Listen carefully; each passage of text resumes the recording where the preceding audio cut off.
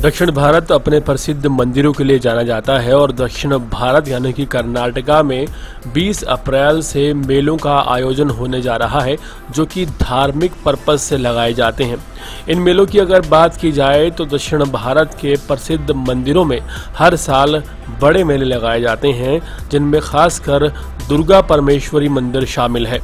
दुर्गा परमेश्वरी मंदिर, महालिंगेश्वर मंदिर और साथ ही साथ अगर बात की जाए मंगला देवी मंदिर की तो वहाँ हर साल 20 अप्रैल को आध्यात्मिक मेले लगते हैं। लेकिन इस बार आध्यात्मिक मेले लगने से पहले कुछ बैनर लगे हुए नज़र आए हैं, जिनमें ये साफ़ लिखा है कि कोई भी गैर हिंदू मेले में शिरकत ना करे और ना ही अपना स्टॉल लगाए।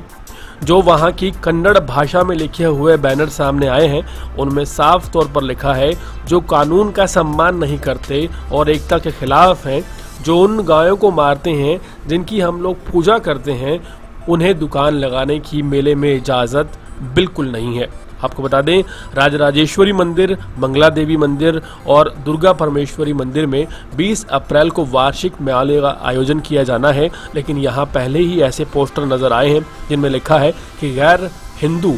मेले में स्टॉल ना लगाए। इसको लेकर विवाद भी चल रहा है और मंदिर प्रशासन का कहना है कि उन्होंने ऐसा कोई भी पोस्टर नहीं लगवाया है और अब अल्पसंख्यक आयोग सरकार से गुहार लगाने की कोशिश कर रहा है। देश और दुनिया की तमाम खबरों से जुड़े रहने के लिए हमारे चैनल को सब्सक्राइब करना बिल्कुल ना भूलें ताकि आप तक पहुँचता रहे हमारा हर लेटेस्ट अपडेट।